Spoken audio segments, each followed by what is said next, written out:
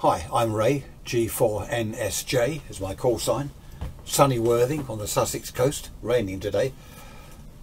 Today I want to talk about setting up uh, your transceiver, your SWR meter and your aerial tuning unit. Okay, because there seems to be some confusion about this, which way round things go. You know, does the SWR meter go there or there, the ATU there? So I'm going to get the blackboard out, that'll frighten you, and, and just show you basically how to set it up and how to adjust the aerial tuning unit. Um, now bear in mind there are different aerial tuning units, they all differ. Uh, you might have various controls on it, you've probably got a book with it, some sort of manual that tells you what to do anyway. Uh, same with the SWR meter. Um, but this is basically how to set it all up. And what we're going to do is set this up on 80 meters, okay, the 80 meter amateur band. Um, right, let's have a look at the, the video I've made with the blackboard, okay? Don't get frightened, it's all pretty basic stuff. What we have here, this is your transceiver, all right? Your Kenwood, Icom, Yaesu, whatever it is you've got, that's your HF transceiver. On the back of it is a, a socket, SO239 socket. So you want a piece of 50 ohm coax, PL259 plug on each end, out of there into here, into your SWR meter, okay? Same here, out of the SWR meter into your ATU. This is the way you do it, right? You don't. Some people swap these round. That's no good. That's a mistake. So 50 ohm coax between there and there, 50 ohm coax between there and there. This is your aerial. We're just going to say it's an end-fed aerial, okay? Just end-fed, like that. Have an earth. You need some sort of earth system in the garden, radials or whatever you've got out there, some sort of earth. What you can do is join, this is what I do, I join that to that and that to that with a piece of earth wire just so I'm not relying on the coax. But uh, that's not important at this stage. Okay we're now receiving adjust the ATU's controls for maximum noise in the receiver. That that gets this somewhere close to where we want to be all right? So you tune this up for maximum noise in the receiver. You switch that to forward it'll have a forward reflected or whatever your particular one says forward or reverse forward reflected. Stick it on forward. Put this on CW lowest power. Find a spot on 80 meters where it's quiet.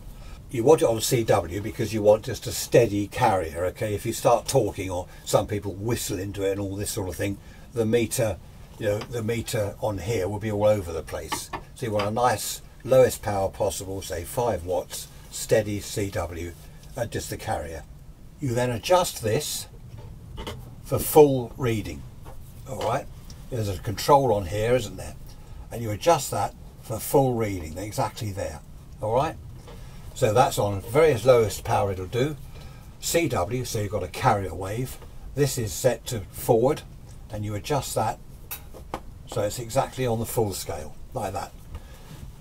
Right, put this now on reflected all right on the on the control on the front on reflected. Don't touch the other one that we've set.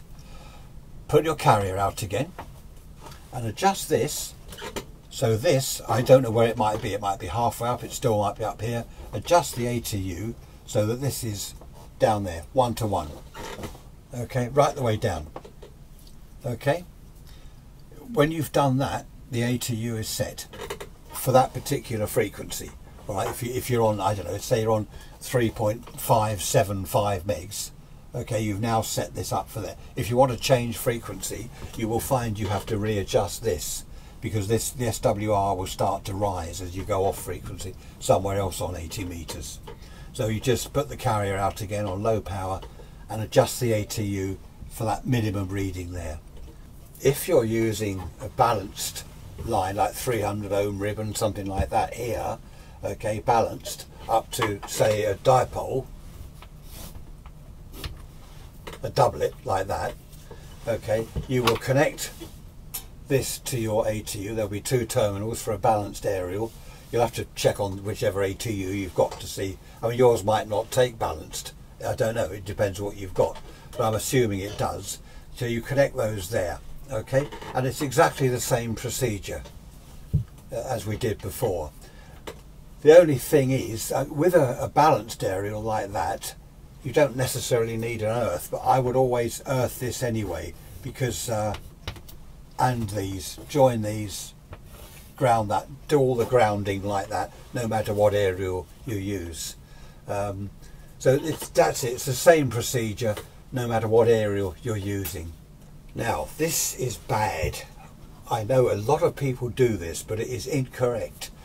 They'll have the setup as we've already done, transceiver, SWR meter, ATU, right, coax, coax.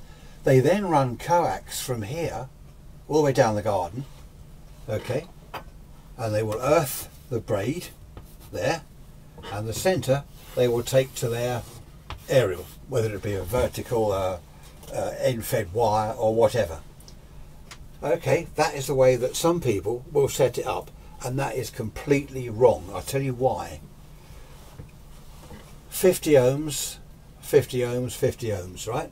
This will match whatever is here to the transceiver, 50 ohms all the way through. If you put coax on here, this is 50 ohms, you have got no way of matching this aerial, let's say this is 2000 ohms, to 50 ohm coax here. You have no way of matching that to that. There's no good trying to match that to that up here. That won't work. If you want to run coax down the garden, this is what you've got to do. I've just moved that camera around a bit so you can see.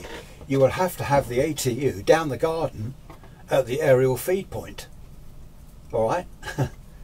and that, well that ideally wants to be here so you can see it when you're adjusting this. If you change frequency slightly here, so you go from 3757 or whatever it was, just change frequency slightly, you've got to go down the garden and readjust the ATU. This is where automatic ATUs come in. Have an automatic one here and it'll do all this for you. Then you can run coax down the garden. Okay, but that, if this is a manual ATU, this is the way to do it. If you want to have the feed point of the aerial down the garden, you cannot have it the way it was just now. You cannot have the ATU here and then coax all the way down as I showed you just now. Okay, I know a lot of people do that and they say, oh, well, it works. Yes, you will get some sort of reception and some sort of transmission. You will get a, probably a pretty good SWR into the radio here. So this will see 50 ohms. But the mismatch here, on, you know, on the old drawing, the mismatch will be horrendous. You know, the coax is looking for 50 ohms. If you go back to this, there's nothing to match it. 50 ohms to say 1000 ohms, whatever, 500 ohms. There's nothing here to match that connection. Huge mismatch there. Look at having the ATU up here somewhere. By the way, a, a, there's balanced and unbalanced aerials. Unbalanced is just a, an end-fed wire, okay? It's unbalanced. A dipole with your two sections, that's called balanced, or a doublet, that's balanced. All right, and you feed that with balanced feeder. You can feed a dipole with coax that's another issue. We won't go into that now. You can have a dipole fed with coax, which will work on just one frequency.